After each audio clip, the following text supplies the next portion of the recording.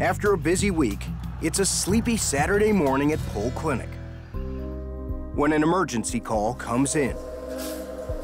Pol vet, this is Brenda. May I help you? Karen Snyder called today with Tia, a Yorkie female that's pregnant and due to have her puppies anytime. I've called a couple of the other office staff people in to give me a hand. For the dog in distress, it's all hands on deck. I was actually on my way to town with my family. Got a phone call from Brenda that she'd like some extra help. So here I am.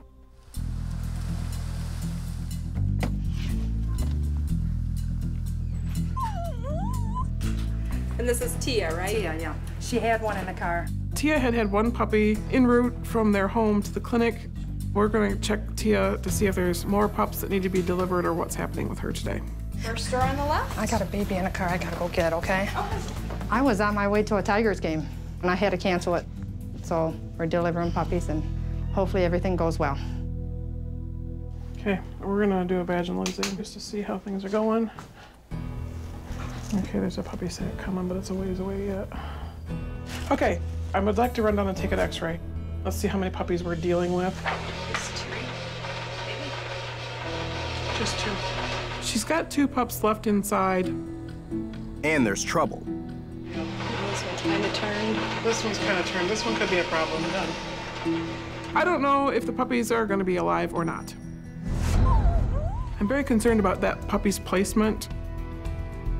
Tia's tiny frame also poses a big problem. They're a good size. She's just too small to have the puppies on her own. It's time to go for a C-section. Girl. I'm very concerned about Tia because she's had a couple C-sections before this. Today will be Tia's third. So Dr. Brenda must work carefully around her scarring to avoid complications. I'm concerned about the bleeding that looks like it's occurred with the uterus. But my primary concern to start with is get the puppies out and then decide whether we're gonna spay Tia or not spay her. Okay, rub vigorous. The first step is to get the puppies clean and dry and check for heartbeats, get their airways open so they can breathe.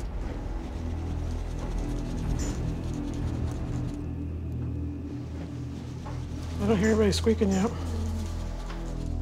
I'm not hearing any squeaking, and I'm really concerned about what's happening. Are the puppies breathing? Are they turning pink like they're supposed to? Are they responding to our care trying to get them awake?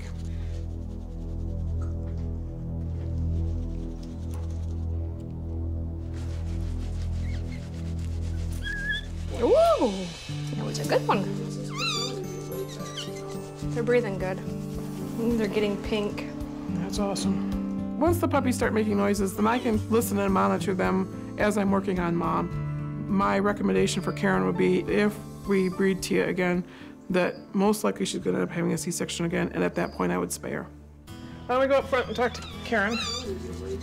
All right, Karen, I brought everybody to you. You have two little boys. Two more boys. Yep, okay. that we got from surgery, and Tia's starting to pick her head up and move around a little bit. Okay. So um, when the ladies are ready to relinquish the puppies, they're ready to go home. I missed the Tigers game, but three live puppies are better than a Tigers game. It's a baby like you. Dr. Brenda does a good job. Very happy. I'm sure Karen's pretty excited that she got um, live puppies. There'll be another Tigers game. Thank you very Okay, much. you're welcome. I really appreciate it.